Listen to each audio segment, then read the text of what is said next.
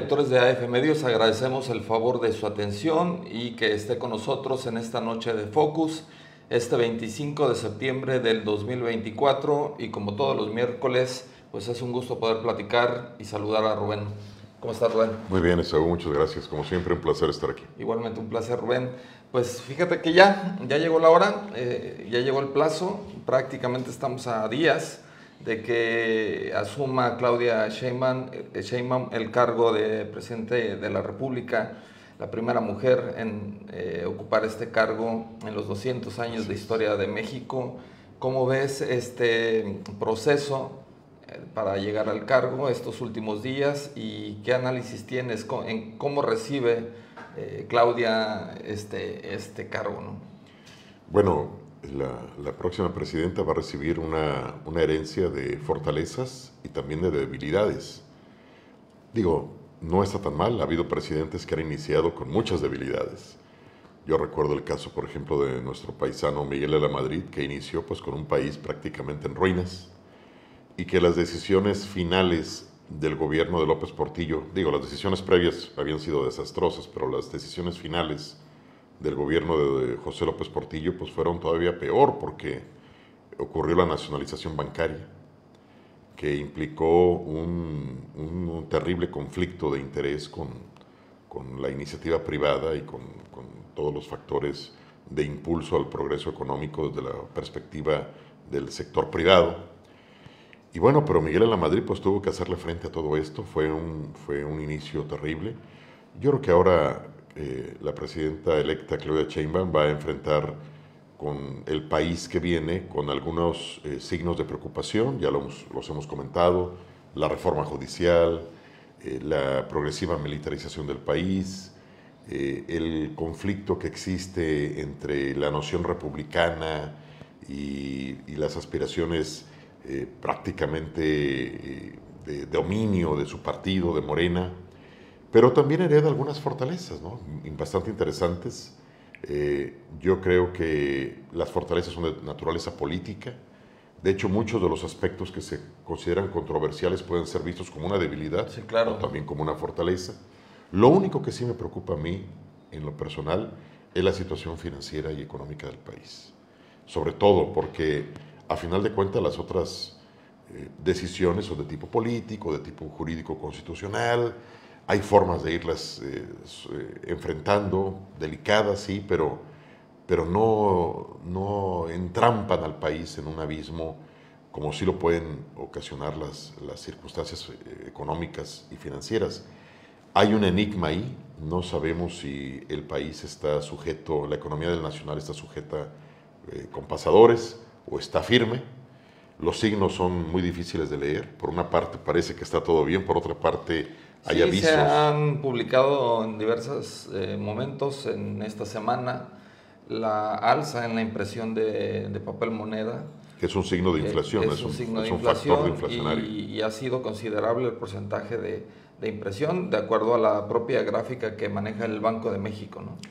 Y bueno, ahí el Banco de México su responsabilidad es cuidar la estabilidad financiera. Si están poniéndose a a imprimir papel moneda y a distribuirlo, bueno, se puede venir un proceso inflacionario bastante duro y muchos de los compromisos asumidos por la presidenta en materia de becas, de reparto de recursos, pues podrían verse en riesgo y además, eh, pues el país podría verse envuelto de nuevo en una vorágine de tipo financiera económica, como ya nos ha pasado en algunas otras ocasiones. Recordemos que hemos tenido bastantes crisis, bueno, cuando menos en mi generación nos ha tocado vivir muchísimas crisis, la más reciente que yo recuerdo, la más fuerte, fue la del inicio del gobierno del presidente Ernesto Cedillo, que fue una crisis bastante dura y que le obligó a Ernesto Cedillo a mantener una política eh, de cuidado de la economía el resto de su gobierno. Sí, para mantener a flote el país, ¿no? Para mantener a flote el país. Ojalá esto no ocurra en el primer año de gobierno de, Claudia Sheinbaum. Sí, eh, pero sobre todo el, el, tema también de seguridad que, que recibe Claudia con un momento muy crítico en estados eh, pues, como Sinaloa, ¿no? es prácticamente parece una guerra civil ahí. Así es. Parece una guerra civil y además no se ve una respuesta institucional coherente al respecto, ni se ve un plan de acción que permita suponer que que se va a resolver esto de alguna forma. Las palabras que dijo aquel jefe de, zona militar que entrevistaron en algún momento, que dijo, bueno, que la paz depende de la, de la buena voluntad de las partes. De los grupos antagonistas, ¿no? De los grupos antagonistas, bueno, pues es un indicativo de que las, las instituciones están... No van a hacer nada. O, no pueden hacer o no quieren hacer nada y están a la espera de ver qué es lo que ocurre, lo cual me parece perder la capacidad de maniobra y de acción del Estado mexicano en un tema que es consustancial al Estado. Vaya. Habrá que recordar que el Estado, una definición de un gran sociólogo eh, contemporáneo, bueno, de hace un siglo, Max Weber, decía que, que el Estado ostenta el monopolio de la violencia legítima o sea, solamente el Estado puede ejercer la violencia y solamente de acuerdo a los valores, en la defensa de los valores que ostenta. Si no es así, algo está mal. Sí, claro. Y además, eh, ahora a días de que esté ya eh, como asuma el cargo como presidente de, esta, de este país, pues también hay un breve conflicto diplomático con, con España. no se invita al, al rey de España, incluso lo secunda Andrés Manuel y más pareciera una medida eh, de origen de Andrés Manuel que de Claudia, ¿no? Pero Claudia lo secunda y no se invita a la toma de protesta eh, al, rey de España. ¿Qué opinión te merecen lo que pasó? Sí, aquí habría que aclarar primero que el rey de, de España no es una figura decorativa. De acuerdo con la tradición de muchos países europeos fundamentalmente, hay muchos países que conservan la tradición monárquica, de acuerdo a su propia evolución política. Y estas monarquías se volvieron monarquías constitucionales, es decir, los grupos liberales republicanos reorganizaron el país manteniendo la figura monárquica como una figura de estabilidad política de Estado. Y lo que se cambió, todo lo demás, fue la organización republicana de gobierno. Bien. Otros países no, otros países, bueno, hasta los guillotinaron a los reyes, como es el caso de Francia. ¿no? Claro. Pero en el caso de, de España especialmente, el rey de España, o la figura del rey de España, se conserva como una jefatura de Estado. El Estado es la representación de la nación en el ámbito internacional. Y existe la figura de gobierno, que es la administración de los recursos públicos, la administración de las instituciones de, seguridad y de gobierno interior, de economía, etcétera, etcétera, etcétera. En México, la figura de jefe de Estado y jefe de gobierno se unifican en el titular del Poder Ejecutivo, de acuerdo con nuestra Constitución, porque esa es nuestra evolución política. Y aquí el, el, presidente o la presidenta son jefes de Estado y jefe de gobierno, es decir, son jefes de la diplomacia, representan al país en el exterior y además son jefes de la administración de gobierno interior. Bien, en España el jefe de Estado es el rey y el jefe de gobierno es el presidente. Si tú invitas como gobierno a la toma de protesta al presidente español y no invitas al jefe de Estado, estás cometiendo un grave error diplomático. Claro. Y si lo hiciste intencionalmente es peor, porque eso es, es un hierro diplomático bastante grave. Es como que si invitaras al primer ministro inglés y no invitas al rey inglés. Eso no puede ser, porque el rey es el representante del Estado. Cuando los, si tú mandas un embajador a España, el embajador presenta sus credenciales ante el rey, porque él es el jefe del Estado, es el jefe de la diplomacia. Entonces, me da la impresión que esto fue un grave error. Yo vi una carta que acaba de enviar y de publicar eh, la presidenta electa. Sí, la envió hoy. Y bueno, la publica en sus redes hoy. La publica en sus redes hoy. A mí no me gustó la carta. Es una carta que, que en lugar de, de suavizar este conflicto diplomático, lo ahonda. Turbia, ¿no? La, la, explicación que da es como sobrada, ¿no? Prácticamente le está diciendo, no invitamos al rey porque no quisimos, porque el rey no le contestó al presidente de la República hace días, eh, hace tiempo, una misiva que le envió en el que pedía que España se disculpara con México por la conquista. Digo, eso no puede ser en el lenguaje diplomático, eso es no puede ser. Yo, yo creo que tendríamos que recordar que México ha tenido una tradición diplomática de excelencia durante décadas. De hecho, tuvimos premios Nobel diplomáticos. Sí, todo, el siglo pasado fue, se caracterizó siglo XX, por eso. Una extraordinaria diplomacia. Eh, tuvimos premios Nobel eh, diplomáticos, Alfonso García Robles. Sí, claro. Tuvimos eh, doctrinas internacionales fundadas en México, como la doctrina Estrada. Vaya, ha sido una tradición diplomática de excelencia Y en los últimos años hemos perdido mucho de, ese, de esa fuerza diplomática por hierros en la administración local. Se envió un embajador a Panamá que, que Panamá lo rechazó porque tenía acusaciones de acoso sexual en México. El presidente se metió en algunos proyectos internacionales que creo que no tenían razón de ser. Hubo este diferendo con España innecesario.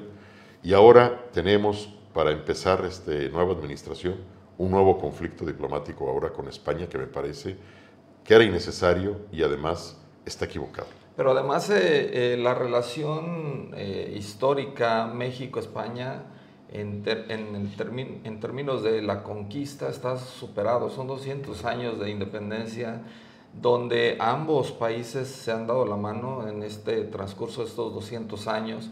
Hay muestras irrefutables de que México ha sido muy solidario con España, como España en su momento también con México.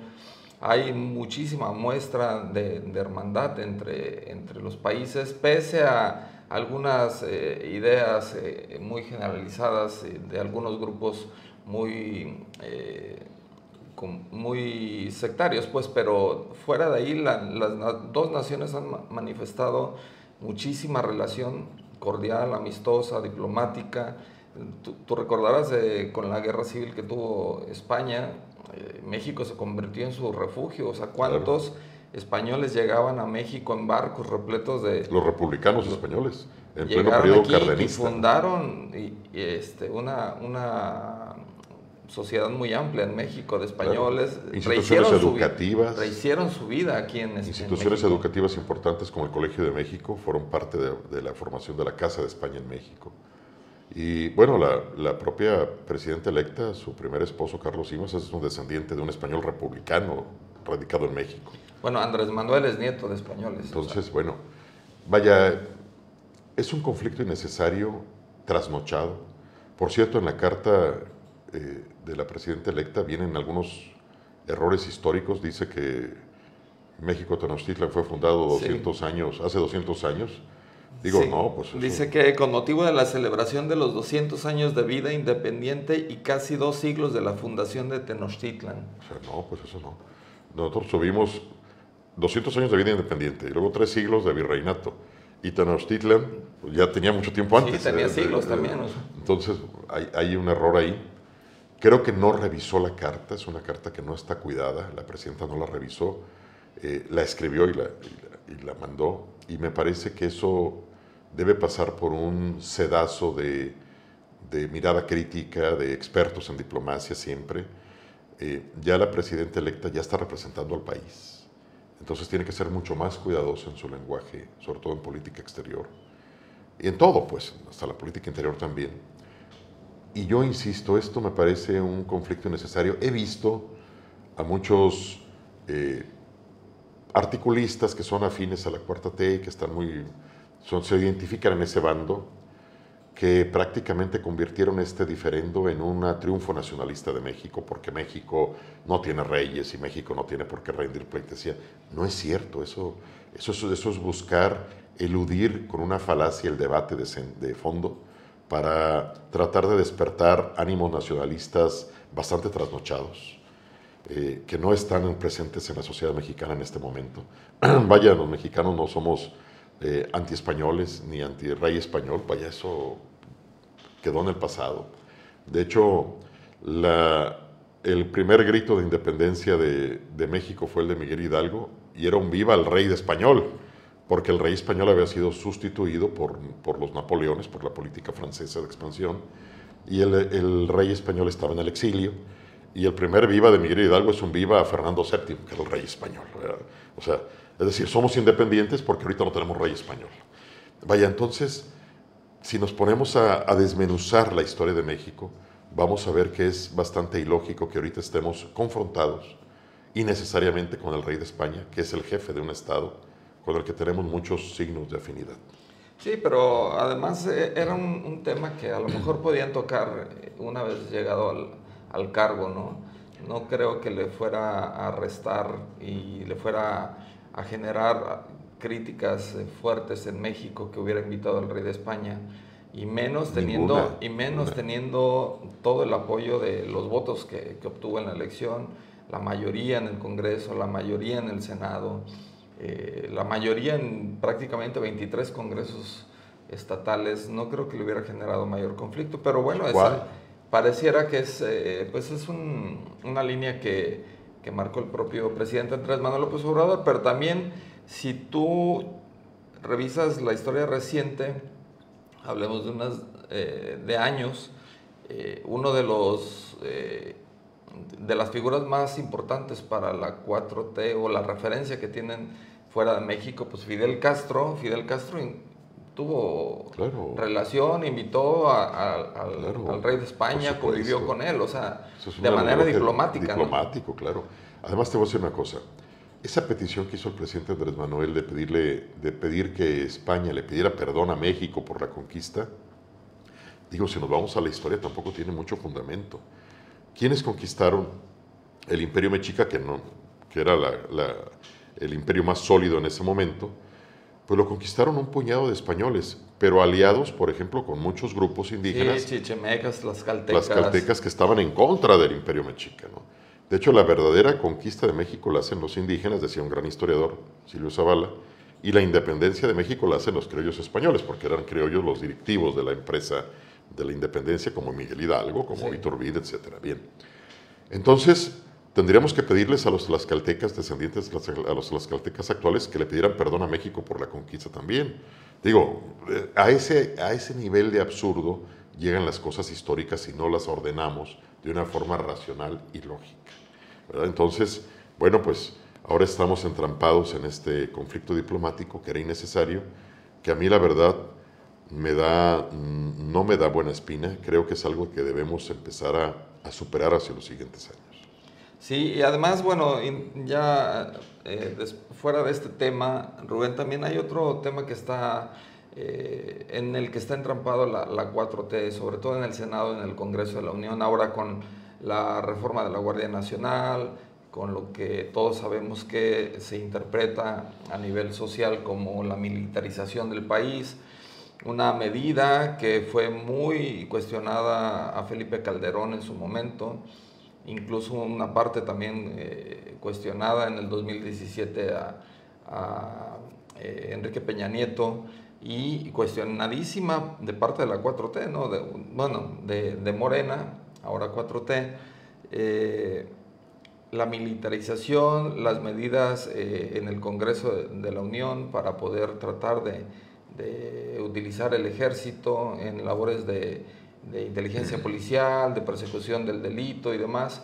Incluso el propio Noroña en el 2017 criticaba y cuestionaba muchísimo las medidas que él llamaba militarización del país, que el ejército no tenía funciones eh, constitucionales para poder estar en las calles persiguiendo delitos, que no tenía influencia policial, que el ejército no solucionaba nada, que era eh, parte de un mecanismo de represión, pues ahora en el Senado y, en, la Cámara Baja, pues se ven en serios problemas para modificar esta retórica que eh, incluso en el 2017 era muy fuerte, ¿no?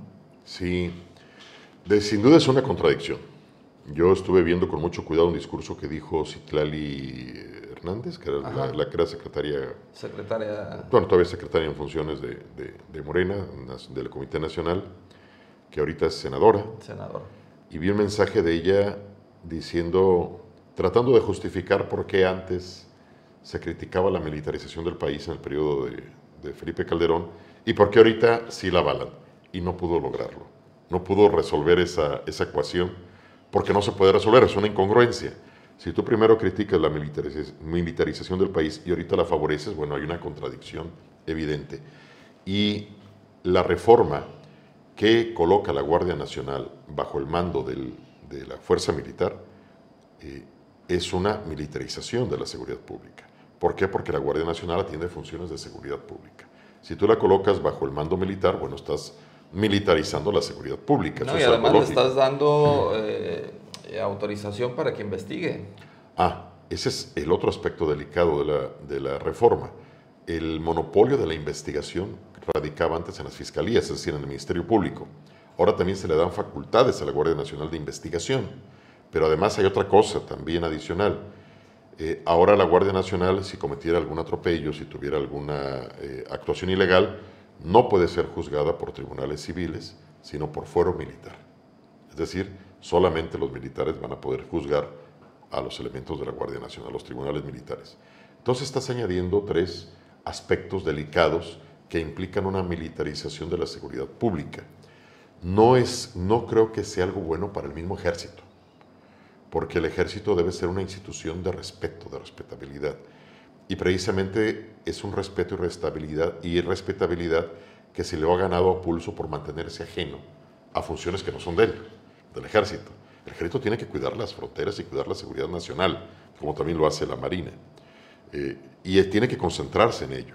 Si tú los metes en tareas de seguridad y no resuelven la seguridad, que es lo que está pasando ya en muchos estados del país, que hay muchos mandos militares metidos a las funciones policíacas, y no se resuelve la seguridad, entonces automáticamente colocas al ejército en una posición de riesgo porque va a estar socialmente cuestionado por su eficiencia en el combate a la inseguridad. ¿Y por qué puede fallar en el combate a la inseguridad? Simple y sencillamente porque el ejército no tiene una preparación policíaca. Claro. Su preparación es de seguridad nacional, que es distinta. Eh, para combatir la delincuencia tiene que haber policías tiene que haber una escuela policial, que tiene que haber un desarrollo policial, sobre todo comando civil, para que las cosas funcionen. Así es como ocurre en todo el mundo. Digo, en, digo, en Estados Unidos hay, la policía es la que atiende la investigación de los delitos. Sí, y fíjate que en el 2017 el ahora eh, presidente del Senado, eh, Noroña, él decía, de nada sirve que esté el ejército en las calles. Eso lo decía en el 2017 de nada sirve que el ejército esté en las calles si se han incrementado los delitos y los homicidios. Bueno, ahora con seis años del gobierno de Andrés Manuel López Obrador, bueno, se incrementaron los homicidios incluso estando el ejército en la calle. Son 198.640 hasta el corte de ayer. ¿Cuántos? cuántos? 198.640 homicidios dolosos. Podemos llegar a los, a los, a los 200.000. Eso es sin contar los homicidios dolosos en grado de tentativa. O las desapariciones, ¿no? que son otra, es otra contabilidad aparte. Homicidios dolosos, 198.640 en lo que va del sexenio. No, pues es a días ya de, terminar. Es un récord bastante difícil de, de asimilar. Pero ¿cómo, cómo ves esta... Eh, medida eh, desesperada de, tratar de, convencer y de modificar esta retórica que durante tantos años la, la trabajaron. Pues la verdad es que no lo han podido justificar. ¿Crees que, realmente pueda permear en, la sociedad? La verdad es que no lo han podido justificar. Digo, ahorita Morena tiene el poder, pero no está teniendo la legitimidad de las ideas, precisamente porque está cayendo en ese tipo de contradicciones que son bastante evidentes y graves. No puede ser que de, hace unos años plantees un discurso y unos años después ya como gobierno plantees un discurso totalmente distinto. Uno en contra de la militarización del país y otro a favor de la militarización del país. Eso es una contradicción grave. No lo han podido resolver, los argumentos siguen siendo eh, evasivos, siguen cayendo en falacias y a final de cuentas eh, lo que estamos viendo es un proceso de incongruencia que tarde o temprano va a repercutir en la visión política de este partido, de este movimiento. Hay otro tema que también surgió esta semana y demasiados cuestionamientos en torno a supuestos nepotismos, sobre todo eh, que, involucraban a, la titular del, INE, su hijo, trabajando con una magistrada, eh, con, del Supremo Tribunal de Justicia de la Nación, eh, familia vinculada directamente con, ministros que están favoreciendo la 4T, eh, familiares de, los Monreal distribuidos en diferentes eh, posiciones políticas, este, ahora el, hijo de Andrés Manuel López Obrador, Andy López Beltrán, pues como secretario de organización de, Morena.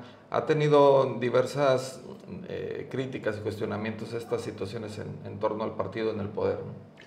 Sí, a mí me llamó mucho la atención el discurso de, Luis Alcalde, la, recién electa presidenta del Comité Nacional de Morena, que creo que toma posesión la siguiente semana. Sí, la siguiente semana. Ahorita apenas está en papel de electa. Y me llamó la atención que en su primer discurso como presidenta de Morena, presidenta electa de Morena, del Comité Nacional, dice que ahí no tiene cabida en Morena eh, ni la corrupción ni el nepotismo. Digo, pero lo dijo a un lado de, del hijo del presidente Andrés Manuel. Bueno, es, hay un dicho colimense muy viejito que dice, en la casa del horcado no se mienta la soga. ¿Para qué necesidad de, de decir que no hay nepotismo si está a un lado el hijo del presidente recién electo como secretario de organización de Morena? Eso es nepotismo. Eso es impulsar a tu hijo para que, para que tome una posición partidista relevante. digo, es una posición directiva del partido ahorita, que es el partido más fuerte en el país. Y eso, digo, si lo hubiera hecho, imagínate Miguel de la Madrid impulsando a uno de sus hijos como secretario general o secretario de organización del Comité Nacional del PRI, eh, un hijo de Felipe Calderón o de Fox siendo secretario de organización del PAN. Digo, a todas luces es algo que no es que no es lo, lo esperado en términos republicanos y de cuidado. La última vez que vimos a un hijo de un presidente destacar de una forma eh, innecesaria, de hecho, a partir de ese momento fue cuando se creó toda la legislación contra las filiaciones en el poder, fue con el hijo de José López Portillo, José Ramón López Portillo, que era un, joven muy capaz, pero pues el presidente lo, lo, etiquetó de por vida cuando dijo que era el orgullo de su nepotismo. ¿no? Sí. O sea, en esos tiempos no era ilegal. Qué frase, ¿no? Aquella. Sí, terrible. Lo puso de subsecretario de Programación y Presupuesto.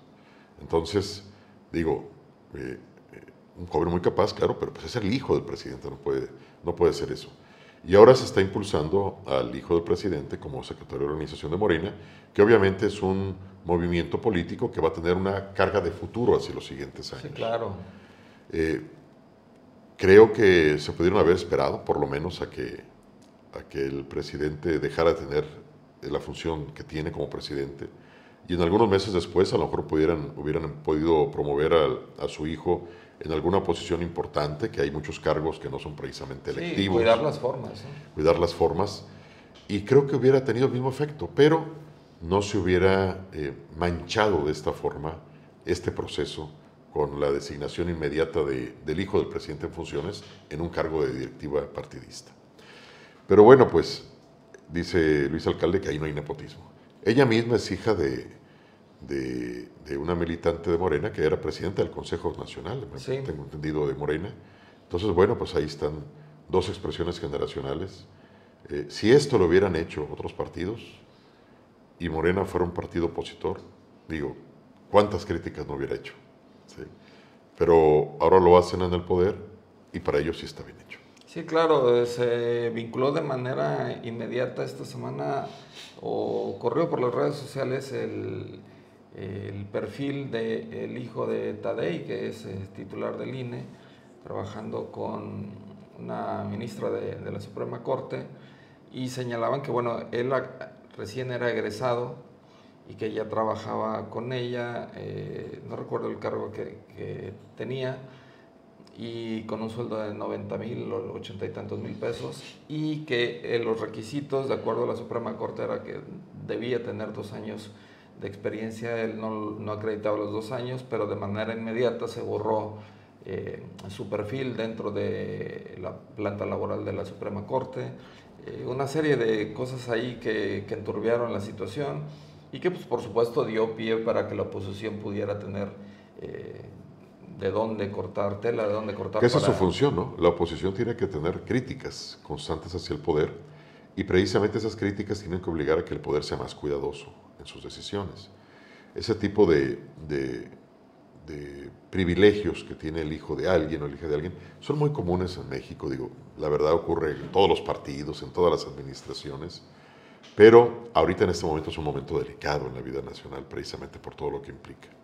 Y yo por eso insisto, digo yo, a mí no me parece mal que el hijo de un presidente eh, incursione en política partidista, por más que sea cuestionable o lo que sea, porque a final de cuentas, bueno, pues también tiene un derecho político de hacerlo. Pero digo, cuidar las formas, ¿no? Había momentos para hacerlo sin que se él mismo quedara atrapado en esta polémica. Sí, quedó exhibido, ¿no? Y, disminuyó mucho eh, el momento en el que él toma el cargo de esta cartera de, dentro del partido en el poder.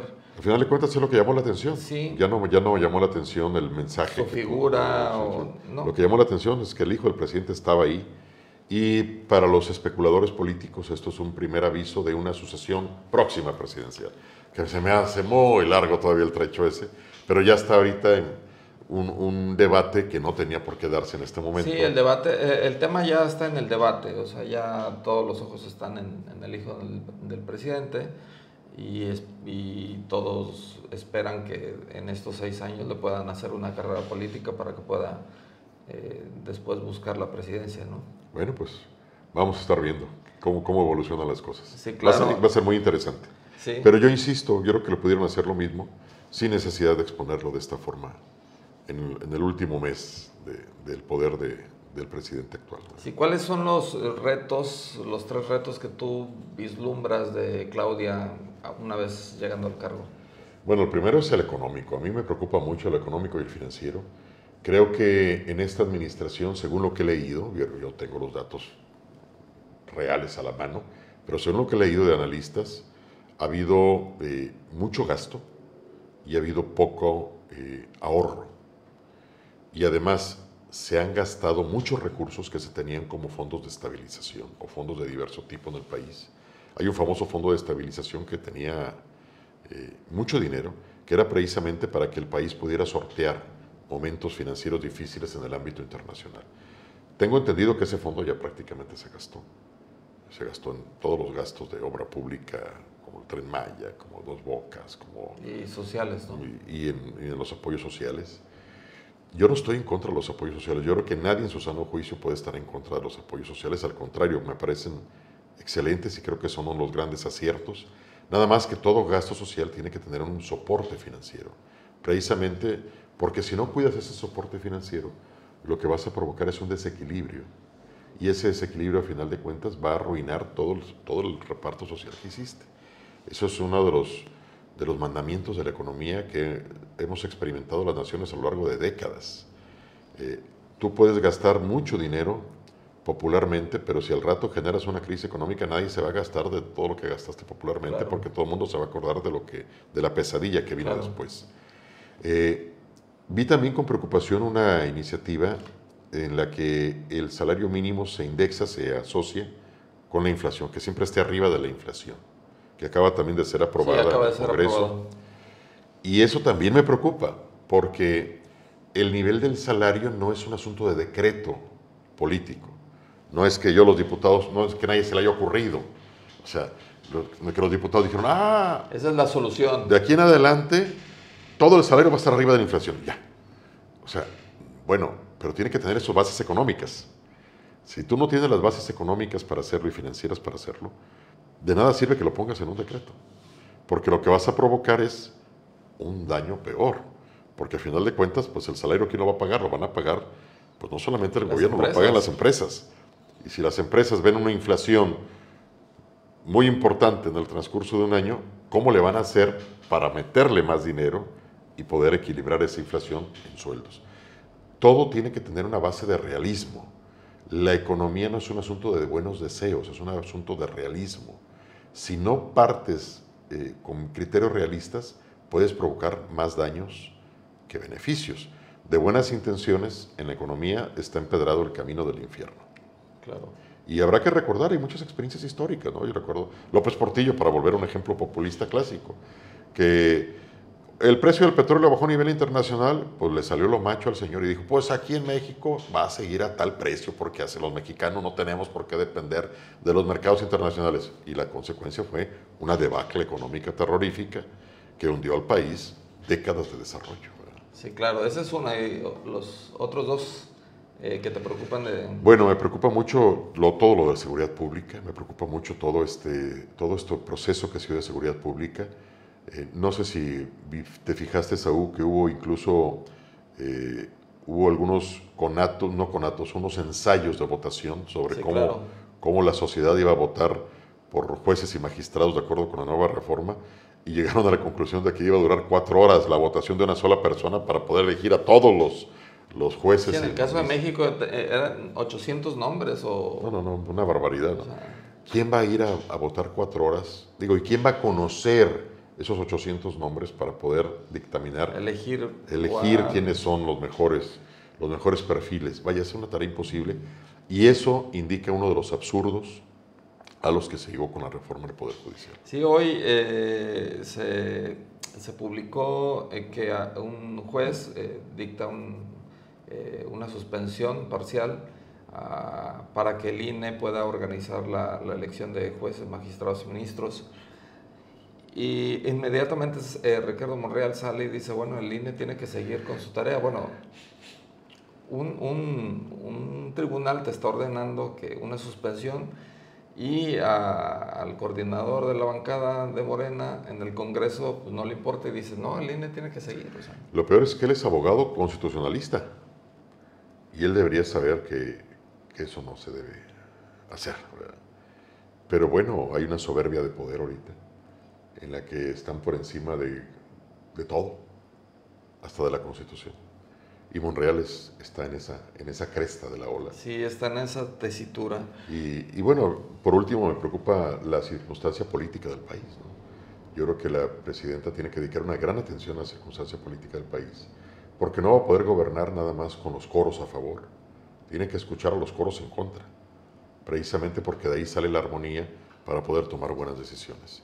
Y si no hay una oposición fuerte en las instancias legislativas, tiene que buscar otros mecanismos para escuchar esas instancias. Claro. Porque no va a poder gobernar solamente con los gritos a favor que surjan, destemplados o no, de las instancias legislativas. Sí, y pues ya por último, en, lo local, pues eh, le validaron a Julio León su candidatura, su diputación plurinominal en el Congreso del Estado de Colima y pues ya prácticamente estamos a nada también de que asuman los nuevos diputados. ¿Alguien perdió la diputación a cambio sí, de que MC, MC. MC pierde un diputado. Y, y, quedan entre Morena, PT, PBM y Nueva Alianza 18 diputados de la fracción de la 4T y tres diputados eh, para el PRI, dos para MC y dos para el PAN. Así va a estar conformada la próxima legislatura en el Congreso del Estado de Colima. Bueno. Mayoría absoluta y, y Morena en Colima va a poder hacer, aprobar lo que, lo que decida. Digo, la verdad es que es un escenario maravilloso para un opositor con talento, que se convierte en una gran fuerza argumentativa para poder hacer valer su voz en el Congreso, pero pues perdónenme, pero no lo veo todavía. Espero, espero que surja al rato. No, no, no lo vemos. Me parece que tiene, al menos en el primer año, el, el Congreso de Colima va a estar completamente dominado por, por Morena. Sí, no, no veo esa fuerza argumentativa todavía. Hay ahí un, un, diputado muy experimentado, con muchos años de trayectoria política, pero misteriosamente se convirtió en un, en un político silente, no habla. Sí, un fantasma. ¿no? habla, no dice nada. Entonces, pues, a ver, a ver si reacciona en el Congreso. Pues te agradezco mucho, Rubén. Gracias, eh, gracias, Saúl. un placer, como siempre. platicar contigo todos los miércoles. Pues agradecemos que nos haya acompañado por espacio de estos minutos en Focus. Nos vemos el próximo miércoles para seguir hablando seguramente de todo lo que tuvo que ver eh, con la toma de protesta de Claudia Sheinbaum como presidenta de este país, de, de México, y temas nacionales y locales. Nos vemos el próximo miércoles a las 8 de la noche.